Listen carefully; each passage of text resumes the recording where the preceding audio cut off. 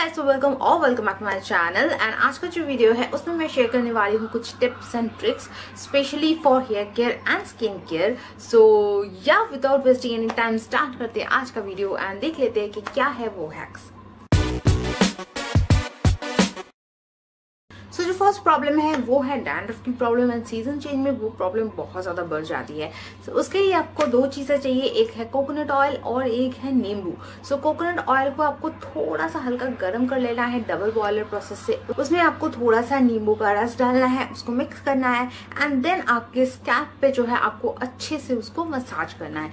Massage करने के बाद आपको अराउंड वन आवर रख देना है देन आपको कोई भी अच्छा एंटी डैंड्रफ शैम्पू जो है उससे अपने बालों को वॉश कर लेना है। I prefer to use hair and shoulder shampoo because ये बालों से बहुत अच्छे तरह से डैंड्रफ को रिमूव करता है। इसके अलावा एक और शैम्पू है जो डैंड्रफ के लिए बहुत अच्छा है, वो है प्योर डर्म का शैम्पू अगर वो आपको कहीं पर मिल जाए तो आप वो भी यूज़ कर सकते हो। अगर आपको बहुत ज़्यादा डैंड्रफ की प्रॉब्लम है देन आप ये ऑयलिंग प्रोसेस जो है, ये वीकली टू टाइम्स करो और अगर उतना ज़्यादा नहीं है देन वन टाइम्स करना इनफ है।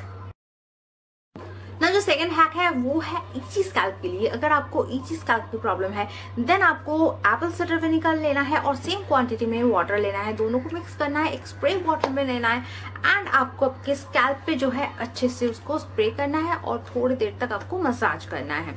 और उसके बाद आप नॉर्मल पानी से भी वॉश कर सकते हो या फिर आप कोई भी एंटी डेंड्रफ शैम्पू से उसको वॉश कर सकते हो।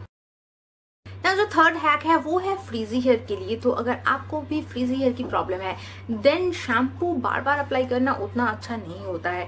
सो वीकली वन टाइम ही शैम्पू एनफ है इससे ज़्यादा नहीं। इसके बाद अगर आपको लगे कि नीचे का जो ये पोर्शन है ये बहुत ज़्यादा फ्रीजी हो रहा है तो आप डबल कंडीशनिंग प्रोसेस यूज़ कर सकते हो। आई डोंट नो उसको एक्चुअल में क्या बोलते हैं बट मैं इसको डबल कंडीशनिंग प्रोसेस ही बोलती हूँ। सो so, उसके लिए आपको क्या करना है? उसके लिए आपको कंडीशनर लेना है और अपने बालों पे सूखे बालों पे अच्छे से कंडीशनर को अप्लाई कर लेना है उसको 15 टू 20 मिनट्स रखना है देन नॉर्मल पानी से वॉश कर लेना है उसके बाद आपको फिर कंडीशनर लगाना है एंड फिर वॉश करना है। सो so, ये प्रोसेस अगर आप करोगे देन आपकी जो फ्रिजीनेस है बालों से वो काफ़ी हद तक चली जाएगी।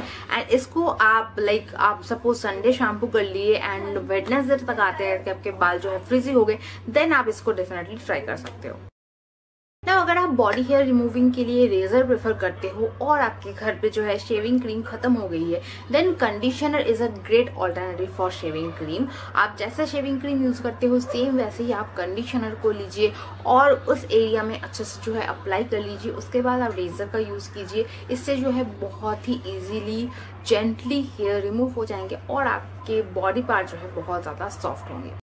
आपकी स्किन बहुत ज़्यादा ऑयली है स्पेशली टी जोन ऑयली आपकी स्किन है देन उसको ऑयल रिड्यूस करने के लिए और आपके पोर्स अगर बहुत बड़े बड़े हैं, उसके लिए आप मुल्तानी मिट्टी का यूज़ कर सकते हो। मुल्तानी मिट्टी में थोड़ा सा रोज़ वाटर और थोड़ा सा एलोवेरा जेल आपको मिक्स करना है और उसे आपके फेस पे जहाँ पे भी टी जोन अगर आपकी ऑयली है या फिर जहाँ पे भी आपकी ऑयली स्किन की प्रॉब्लम है, वहाँ पे आप अप्लाई कर सकते हो। हफ़्ते में दो तीन बार इसे कर सकते हो। इससे जो है एक्सेस ऑयल आपकी स्किन से जो है मुल्तानी मिट्टी की वजह से वो दूर हो जाएगी और आपके जो ओपन पोर्स की प्रॉब्लम है, वो एलोवेरा की वजह से, मुल्तानी मिट्टी की वजह से एंड रोज़ वाटर की वजह से जो है पोर्स थोड़े से छोटे हो जाएँगे। So guys this is all about this video I hope आपको अच्छा लगा होगा ये हैक अगर और भी कोई हैक आपको चाहिए सो so, उसका रिक्वेस्ट आप नीचे जो कमेंट बॉक्स है उस पर लिख के कर सकते हो। एंड डेफिनेटली आप मुझे कमेंट करके बताओ कि इसमें से कौन सा हैक है जो आपको सबसे ज़्यादा अच्छा लगा। एंड या I see you in my next video till then take care and goodbye